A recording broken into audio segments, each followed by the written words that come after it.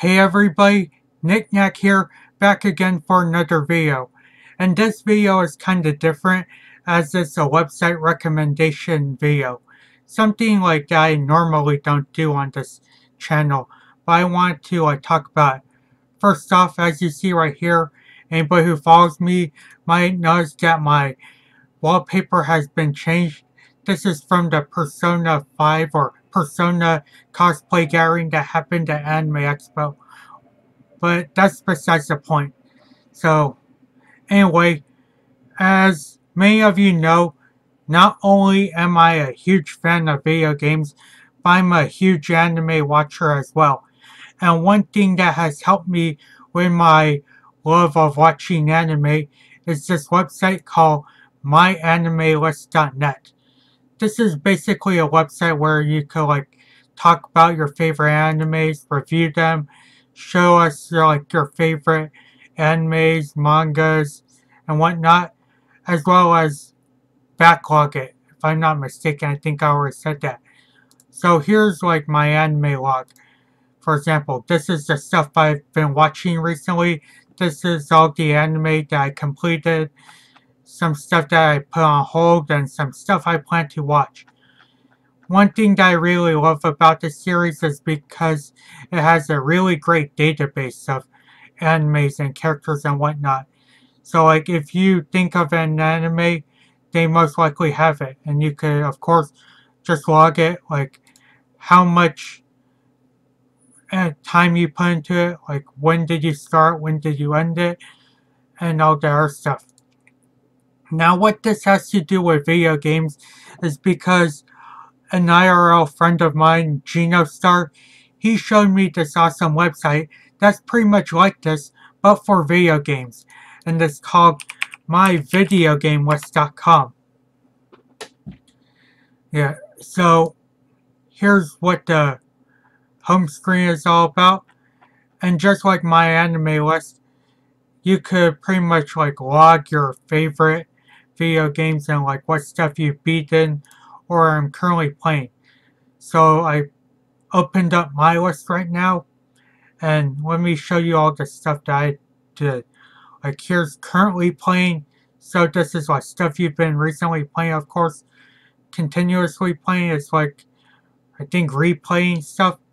Here's all the games that I have recently beat or just beat from what I remember for the most part.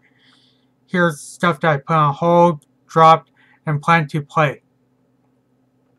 Now, just like my anime list, the database, wait, sorry about that, I'm kind of like struggling to think of stuff. First off, I'd like to say that this website, I believe, is pretty new, so it won't have too many games, for example. So, one game I recently beat Last year was Shining in the Darkness. It's an old Genesis game. It doesn't have it. But let me show you how the website works in general. So one game I'm recently playing is Shining Force. So here's what they have for Shining Force. I'm going to click Shining Force ahead. So I'm going to put uh, add to list. And here's what you could do, or just in general. So status, I'm currently playing, if you like be or want to plan to play, you know the drill. Just go over here, click it. So I'm currently playing. You could rate the games, whether or not they're very good or very bad. Priority, it just tells you if it's like very important that you want to be or you're not in the mood. I'm leave just these two in general blank ownership. It, you could like tell them whether or not you own the game. If you don't own the game, whether or not it's physical, whether or not it's digital. I got Shining Force from this Genesis collection on Steam, so I'm playing own digital copy. You could give an estimation of the amount of hours you could play and what's the start date and finish date. Because I don't remember when the certain day I beat it, I just leave these two blank. And you could just like put the amount of replay value is. and notes and comments you have for a game. So, status currently playing, so I just submit, and bam, Shining Force is on my list. So that's how it works. I also like want to show you some other stuff like entry. So Breath of Fire recently played and I just recently beat it, so I gonna plan to play on completed start date, finish date.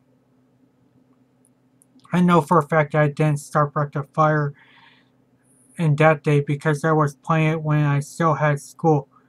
So, yeah, I want to show you update entry. And now it says here that I beat Breath of Fire. And that's pretty much it. I just wanted to make this short video recommending or suggesting this website. I know most people would rather use their time and logging on backloggery.com or maybe a spreadsheet. I personally like want to show you this website because it's new. I want to uh, get more games in general. And it just is pretty much easier than backloggery for me if you ask me. The reason why is you could just like BS the amount of games you could beat or say you beat on that website. And you have to like type it by hand.